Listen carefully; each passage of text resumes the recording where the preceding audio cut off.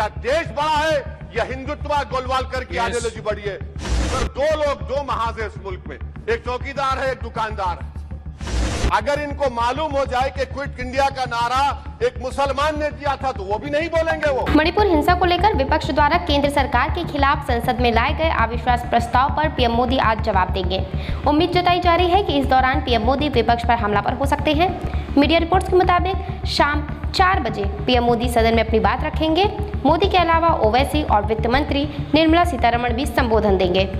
Speaker sir मैं conclusion में अभी कल हमारे होम मिनिस्टर ने कहा था क्विट इंडिया अगर इनको मालूम हो जाए कि क्विट इंडिया का नारा एक मुसलमान ने दिया था तो वो भी नहीं बोलेंगे वो।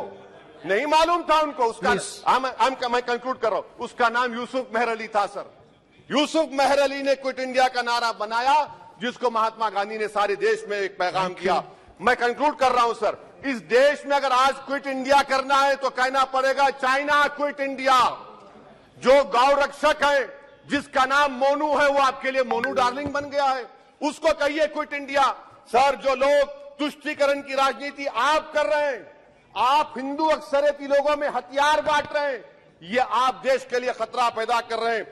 सर. कंक्लूडिंग सर हम कंक्लूडिंग इसीलिए हम आपसे अपील कर रहे हैं कि हुकूमत से कह रहे हैं कि आप जो सियासत कर रहे हैं इससे नुकसान देश को होगा। प्रधानमंत्री जब खड़े होकर जवाब देंगे हम उनसे पूछना चाह रहे हैं पॉइंटेड क्वेश्चन है क्या देश बड़ा है या हिंदुत्व गोलवालकर की Yes. आइडियोलॉजी बड़ी है? मैं इस तहरीक अदम- एतम की तायद में खड़ा हूँ और हुकूमत की मुखालिफत में सर आख- एक एक आधा मिनट सर।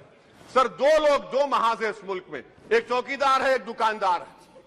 एक चौकीदार एक दुकानदार है जब जुल्म हम पे होता कोई मुँह नहीं खोलते। यूएपीए का कानून अमित शाह ने लाया इन दुकानदारों ने तायद की। आज उस यूएपीए का कानून में तिरासी साल का बुढ़ा सिपर खत्म करो सिपर नहीं होने के से मर गया। आखिर कब तक दुकानदार और चौकीदार हमारी लाशों पर सियासत सर हम सर हम कंक्लूडिंग. कब तक सियासत करेंगे? अगर आप जुल्म के खिलाफ आवाज़ नहीं उठाएँगे तो आपकी दुकानदारी नहीं चलेगी चौकीदार को पता धन्यवाद, करेगा शुक्रिया सर।